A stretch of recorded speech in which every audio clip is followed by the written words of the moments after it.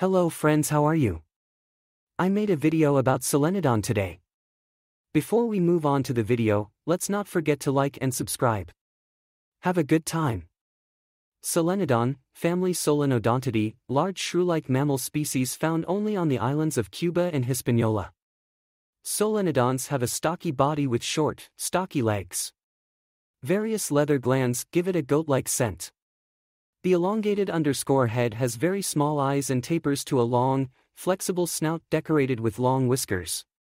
Its saliva is poisonous, and the solenodon burrows into prey while biting with its incisors. Solenodons weigh between 800 and 1,100 grams, 1.8 to 2.4 pounds, and have a 28 to 39 centimeters, 11 to 15 in, long body and a shorter 18 to 26 centimeters tail. The coarse fur is dark brown to reddish brown or blackish on the head and back and whitish or buff on the flanks. The tail and feet are less hairy. Found in habitats ranging from forest to shrubbery, solenodons live on land, although they can climb. On the ground, they travel on an irregular path with a wobbly gait, but can run fast for short distances.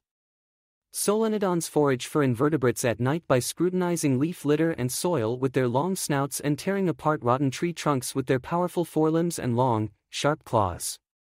Land crabs and snails, frogs, lizards, snakes and bird eggs are also eaten.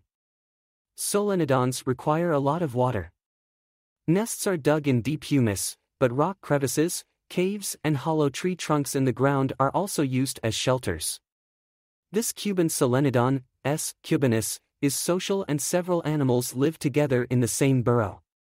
They communicate with chirps, chirps, squeaks, squeaks, and clicks.